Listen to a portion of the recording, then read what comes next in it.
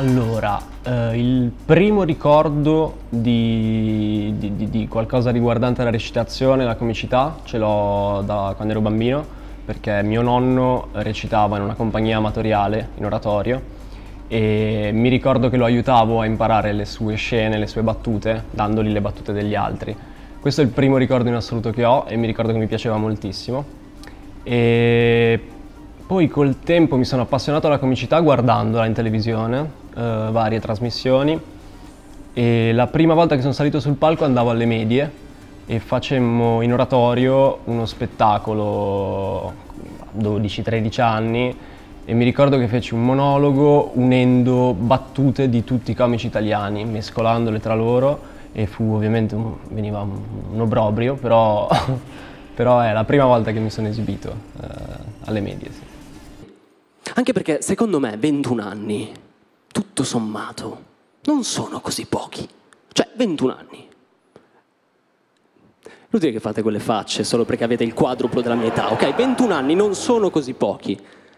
Cioè, è un buon campione di tempo, secondo me. No? Si dice sempre la vita è un film, la vita è un film. Ecco, se la vita fosse un film, i primi 21 anni della mia vita sarebbero i primi 21 minuti di un film. E, e i primi 21 minuti di un film, cioè qualcosa inizia a capire del film. Inizia a capire se ci sarà da ridere o meno, se finirai di vederlo o spegnerai prima.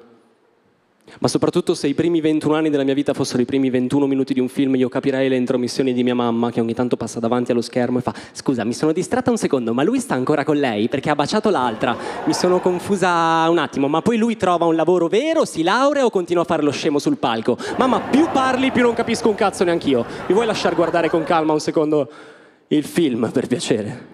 E ci ho pensato a questa cosa dei, dei 21 anni come i 21 minuti di un film. Ci ho pensato. E Adesso non so quanti di voi mi conoscano tra di voi, però se effettivamente fossero i primi 21 minuti di un film, la trama fino a qua sarebbe semplicissima. Cioè io quando, volevo, quando ero piccolo, quando ero un bambino, volevo fare l'attore da grande, no? volevo fare il comico, cioè avevo questo sogno. E gli ultimi due anni sto iniziando a farlo, sta iniziando ad andare abbastanza bene e sono contento e tutto, però se fosse un film sarebbe tutto lineare fino a qua. Cioè, serve a un certo punto in un film un, un qualcosa che faccia proseguire la storia, no? un ostacolo sul percorso del protagonista. Il plot twist lo chiamano. E io ho pensato a quale potrebbe essere il plot twist della mia vita adesso. E ho qui tre opzioni. Allora, la prima è che diventi padre. Quindi lascio incinta inavvertitamente una ragazza e mollo la comicità per dedicarmi al pargolo. Questa è la prima. La seconda è che diventi padre, quindi ricevo la vocazione, entro in seminario e dedico la mia ironia a Gesù.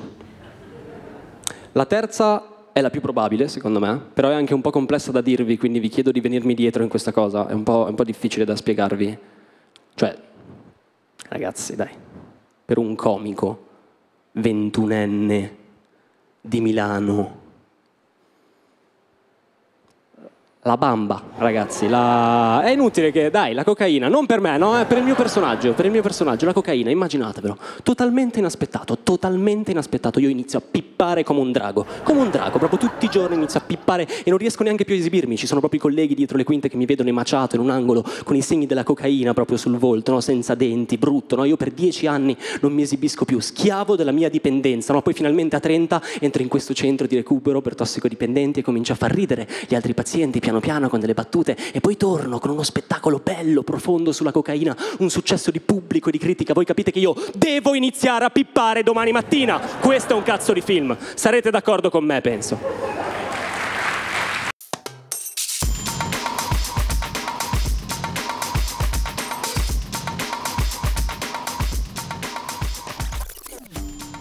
La comicità sì, secondo me è nel DNA, è nel DNA di chiunque.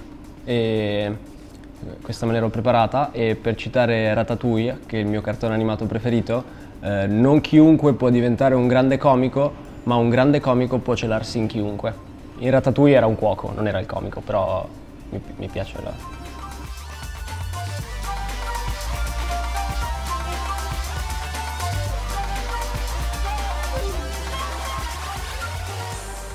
Allora, come, come nasce? Eh, ci sono varie, varie strade, nel senso che ogni pezzo è nato in modi diversi. Ci sono dei monologhi che mi appunto un'idea sulle note e poi tornando a casa riesco a scrivere 5 minuti subito.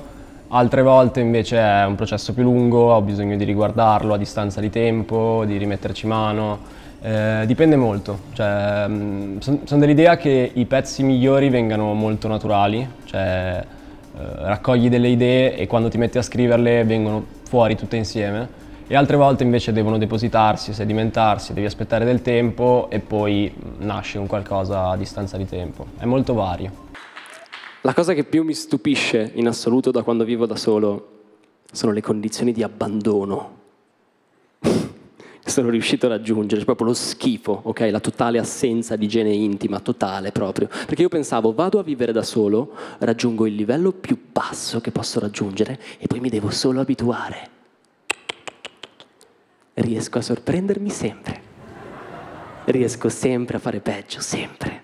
Ho anche pensato di aprire un profilo Instagram da influencer per raccontare il mio disagio. Sarebbe una roba tipo un metro quadrato di fungo porcino di muffa nel frigo, check.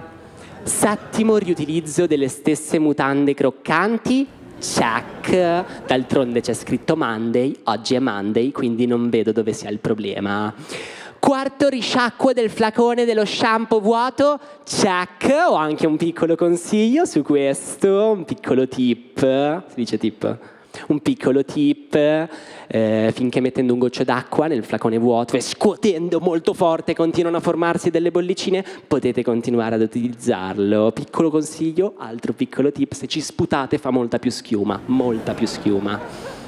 Cos'altro? Macchie di sperma sulle lenzuola? Check, ce le abbiamo. Ho anche provato ad unirle con un pennarello. È uscita la scritta torna a casa imbecille, non ce la puoi fare da solo.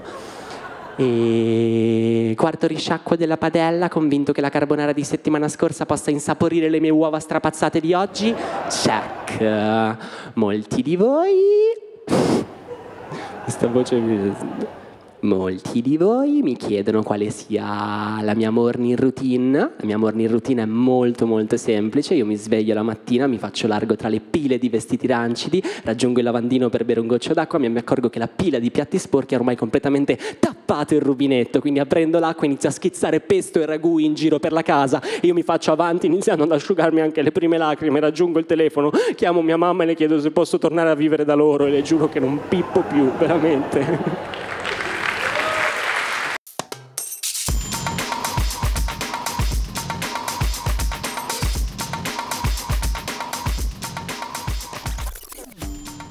Allora, eh, quando devo provare sul palco un monologo che ho scritto, eh, inizio facendo memoria, chiaramente, quindi eh, arrivo ad avere la memoria perfetta e poi lo provi. Lo provi a serate un po' più piccole, con meno persone, vedi come, cosa funziona, cosa meno, cosa tagliare, cosa aggiungere, magari improvvisi una battuta che funziona, quindi l'aggiungi. E, mm, quella è la fase un, un po' più lunga secondo me cioè, dopo aver scritto il pezzo devi capire cosa tenere e cosa no, cosa funziona e cosa no. E, mm, quindi sì, provando, riprovando, riprovando in più situazioni possibili, con più pubblici diversi possibili.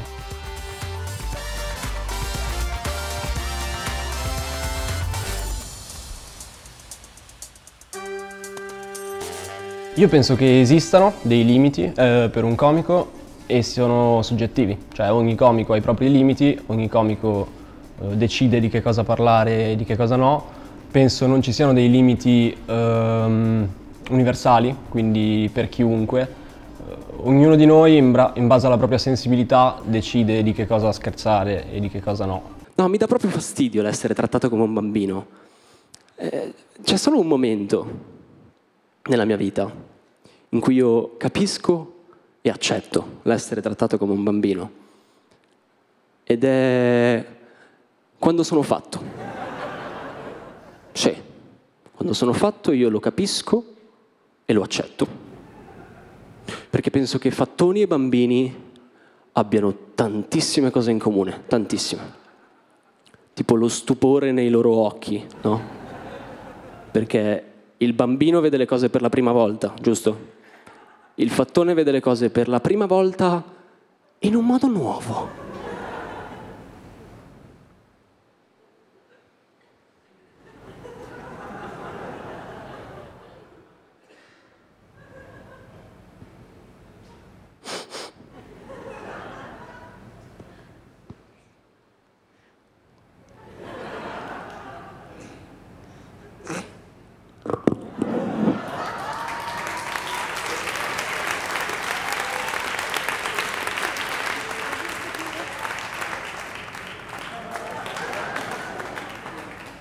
Cioè, trovatemi la differenza tra E che bella invenzione il microfono, c'è un oggetto che... e questo. Minchia, raga, ma che invenzione ha il microfono?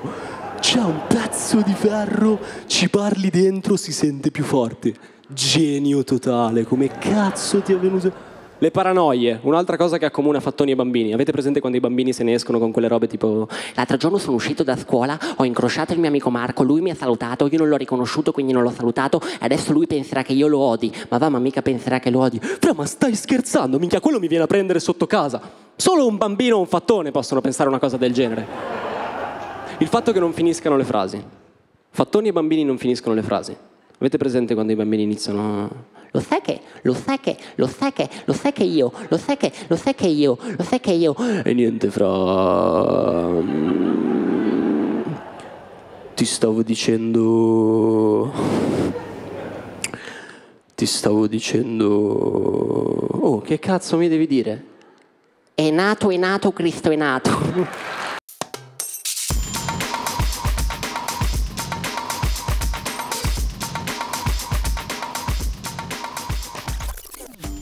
Allora, non sono mai stato aggredito direttamente durante un, un'esibizione.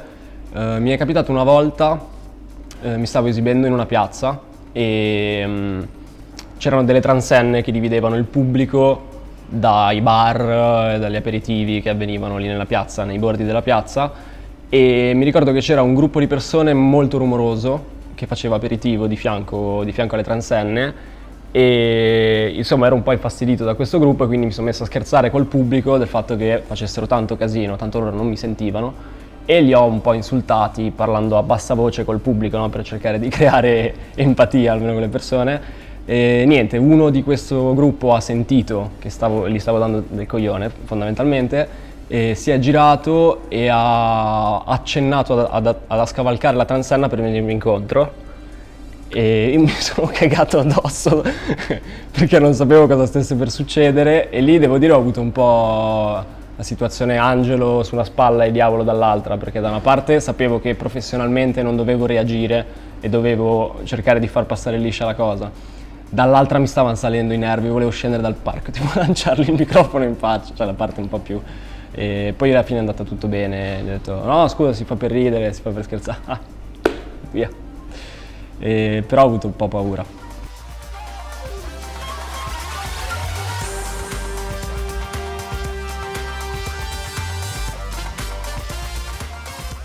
Allora, la, la, mia paura più grande da comico è totalmente irrazionale, eh, non può accadere come cosa, è molto surreale, però ogni tanto mi immagino di essere in una situazione non, non sul palco, in giro, un aperitivo, e che qualcuno mi, è più un sogno che non una paura, che qualcuno mi presenti e io debba iniziare a fare un monologo da un momento all'altro. Cioè è come se tipo, apro la porta del bagno e dall'altra parte c'è il, il pubblico, ci sono tipo 2000 persone e devo iniziare. È un incubo che ogni tanto faccio, perché l'idea di, di, di salire sul palco senza sapere che sto per salire sul palco mi spaventa. È che io non sono figlio unico. Noi siamo in otto. Mia mamma ha partorito sei figli, è vero. Lei ci tiene sempre a ribadire il fatto che noi sei siamo stati tutti voluti allo stesso modo, bello, lo dice sempre, da mia sorella più grande Noemi fino a mio fratellino più piccolo Basta Cazzo, ci tiene, ci tiene sempre a ribadire questa cosa. Però no, Agnese, le differenze che ci sono tra una famiglia come la mia, numerosa, e una come la tua, con un figlio unico, sono abissali, no? Sono, sono tante. Per esempio, il concetto di privacy in casa tua? Bene o male, si può dire che esista un concetto di privacy? Sì, bene o male sì, no? In una famiglia con un figlio unico si può dire che esiste un concetto di privacy. Da noi no. Io posso dire tranquillamente, tranquillamente, che in 21 anni di vita non mi è mai, e dico mai capitato, di cagare senza un mio fratello che si lavasse i denti di fronte a me. Io vi giuro che non ho mai provato questa emozione in vita mia, mai. E me ne sono accorto recentemente no, della mancanza di privacy perché abbiamo fatto dei lavori a casa. Mia mamma ha visto un minuto di Cerco Casa disperatamente, non so se lo conoscete, trasmissione di realtà, è impazzita completamente. Adesso dice queste cose, gira per la casa, spostiamo i punti luce. Che cazzo si dice? Abbiamo fatto dei lavori in bagno, ha comprato una nuova vasca da bagno, ha invitato delle sue amiche a vederla, cinque cinque sue amiche sono venute a vedere questa vasca da bagno, mezz'ora a fissare una cazzo di vasca da bagno. Certo, potevano aspettare che finissi di lavarmi, però sai, no, quando hai 21 anni e 5 donne, anche se mature, ti fissano mentre sei nudo, voglio dire non rovini tutto in nome di una privacy che non hai mai posseduto. Poi devo dire che tutto sommato alla fine sono stato contento io e sono state contente loro. Dai, sono state contente loro. Adesso vado una volta al mese a fare il bagno a casa di uno di loro. Sono un po' preoccupato, vi dico la verità, sono un po' preoccupato perché settimana prossima vengono gli amici di mio padre, quindi mi... ed è il motivo mi lavo a pezzi, forse mi... Ed è il motivo per cui sono andato a vivere da solo, no? Solo che, che adesso è tutto nuovo. Qualsiasi cosa, no? Faccio delle esperienze incredibili. Io, io non sono abituato, cioè io sono abituato alle persone che passano, sono abituato alle voci nelle altre stanze, al pubblico mentre cago. Io sono abituato, ragazzi, faccio fatica adesso, davvero. Ho anche proposto ai miei fratelli di fare delle videochiamate ho ricevuto quattro no e il quinto voleva essere pagato su OnlyFans. Sinceramente non mi sembrava il caso. Qui ride solo chi ha meno di vent'anni e questa cosa è molto bella perché c'è proprio un buco generazionale in mezzo al pubblico su OnlyFans che è una cosa fighissima. Poi vi spieghiamo cosa... Allora, in pratica... No, scherzo. Non so che cazzo... E, quindi no, è, è, tutto nuovo, tipo il concetto di casa libera siamo d'accordo che è uno dei fondamenti dell'adolescenza di un ragazzo, no? dai 13 ai 21 anni è una delle cose più importanti della tua vita. Ecco, casa libera quando vivevo con i miei genitori era pura utopia, no? Cioè, non avveniva mai, ogni 10.000 anni succedeva, era una congiunzione astrale, ok? Era la cometa di Halley, non so come dire, la morte di un papa, davvero. Cioè, era il papa che muore ucciso dalla cometa di Halley e io a quel punto avevo casa libera. Invece adesso ogni tanto mi capita, mi succede di stare da solo. L'altro giorno ero, ero da solo in sala. Mi piace un sacco dire in sala, anche se vivo in un monolocale. Cioè tecnicamente ero da solo in sala, in cucina e in camera contemporaneamente. Ma queste robe... Ed ero lì, no? Sul divano. Poi sarebbe il letto. Sarebbe... Non che un piano cottura all'occorrenza, perché no? Ed ero lì no, sul divano, a un certo punto mi sono reso conto che erano 12 ore, 12, che non sentivo né pronunciavo una parola, cioè 12 ore di silenzio completo, sono tante, no? Ho letto da qualche parte che quando trascorri tanto tempo in silenzio da solo, puoi iniziare a sentire i tuoi pensieri. È vero, a me è successo. Ero lì sul divano, a un certo punto ho sentito proprio la mia voce nitidamente che mi diceva, eh, però dai, non stiamo così male qua abbiamo la cucina, abbiamo un bagno, dei rasoi, una corda, una sedia. Non stiamo così male, vero Wilson?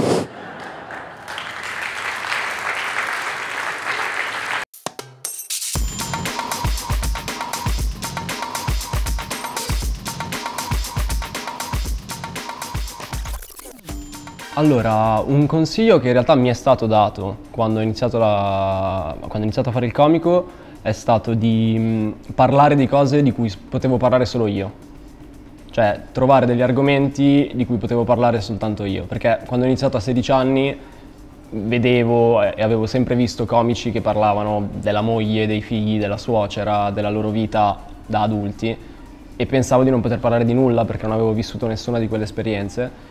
E poi col tempo mi sono reso conto che in realtà il fatto che avessi 16 anni e che fosse un, un, una voce abbastanza anomala nel, nella scena comica era, una, era una, una, cosa positiva, cioè era una, una cosa da usare a mio favore e mi sono reso conto che l'unicità e l'originalità che, che, ognuno di noi ha è la, è la cosa più, più importante che puoi portare sul palco.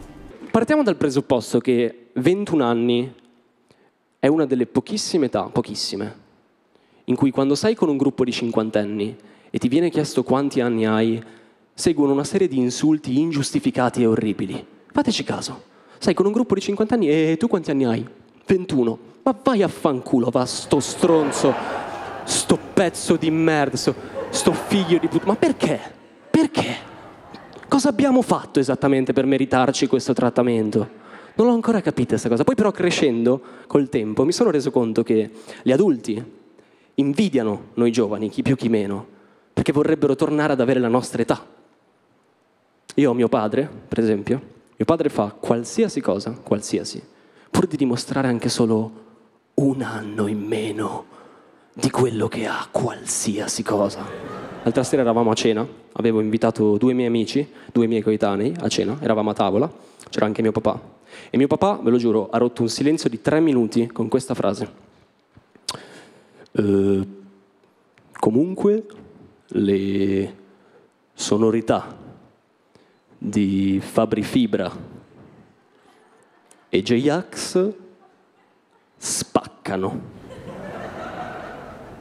alla quale sono seguiti altri tre minuti di imbarazzo con i miei amici che mi guardavano come a dire davvero sta cercando di fare colpo su di noi in questo modo? Cioè è inquietante, no? È come se mio padre invitasse due suoi amici, due suoi coetanei a cena e io facessi qualsiasi cosa pur di dimostrarmi più adulto di quello che sono. Sarebbe strano, che ne so, finisce la cena. Uè Giovannone, allora cazzo, qua per tirarlo su ci vogliono le gru, eh? Quante pillole stai prendendo? Figa, sei blu in faccia? Senti, ma le bimbe come stanno? Le bimbe, eh? Bimbe, le ho viste che erano alte così, ormai saranno giganti, eh? Comunque bisogna organizzare una bella cenetta di pesci senza signore che ci rompono i coglioni. Sai quelle cazzo di robe che dite voi? Sarebbe inquietante. Poi ogni volta che dico la mia su un argomento, a 21 anni, mi sento rispondere queste frasi, no? Eh ma sei giovane, cambierai idea. Quando avevo la tua età, la pensavo come te. Mi dà un fastidio cazzo quando avevo la tua età, la pensavo come te. Voglio dire, secondo voi è automatico che un ventunenne sia meno informato, saggio, interessante di un sessantenne? Lo sto chiedendo, secondo voi è automatica questa cosa? Oh, dai, eh! No, no, c'è un luogo in cui ho capito quanto questa cosa non sia vera ed è l'area cani.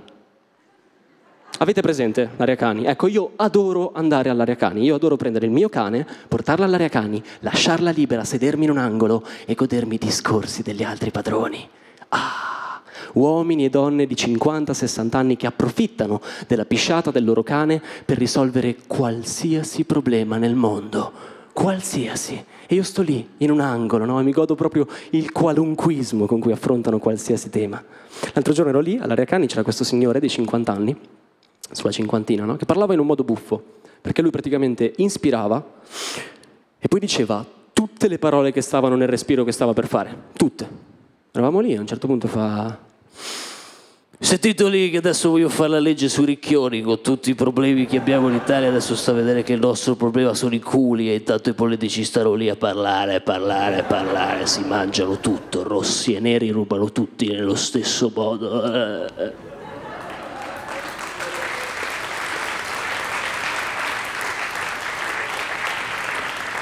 Dopodiché si gira verso di me, mi nota e mi fa, e tu che cosa ne pensi? Cala il silenzio completo nell'area cani, completo. Due aschi che si stavano inculando tra di loro si bloccano e si girano a guardarmi. Ma eh, guardi, io sinceramente penso che sia una questione molto complessa. La legge proposta dal deputato Alessandro Zan si proponeva di prevenire e contrastare la violenza basata su sesso, genere, orientamento sessuale, identità di genere e disabilità. Il testo prevedeva l'estensione dei cosiddetti reati d'odio per discriminazione razziale, etnica o religiosa, articolo 604 bis del codice penale, a chiunque compia discriminazioni verso omosessuali, donne e disabili. C'è chi la considerava una legge liberticida, io personalmente la sostenevo e la ritenevo di vitale importanza in un momento storico delicato come questo questo. Silenzio completo di nuovo. I due aschi, maschi, quindi molto probabilmente d'accordo con me, riprendono a incularsi a vicenda. Quando avevo la tua età pensavo come te. Quando lei aveva la mia età, Alessandro Zanna era nelle palle di suo padre. Come la mettiamo? Vabbè.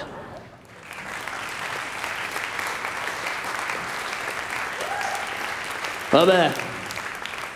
Ma tu quanti anni hai? 21. Ma vai a fanculo, va, sto pezzo di merda.